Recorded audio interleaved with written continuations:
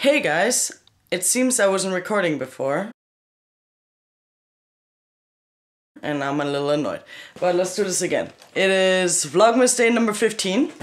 Let's open it. Well, I already opened it. Okay, and here it is.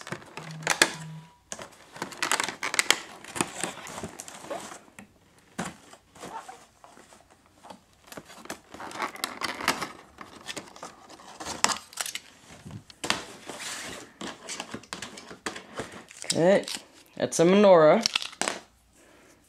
Check it out. It's pretty. Okay. Now let's place it on the tree that's actually lit.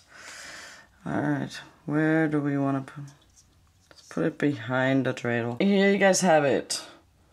All of the Olafs, the menorah behind the dreidel. Right here, the candy cane. And what was the star? Right here. Yep, that's it. I'll see you guys tomorrow. Peace!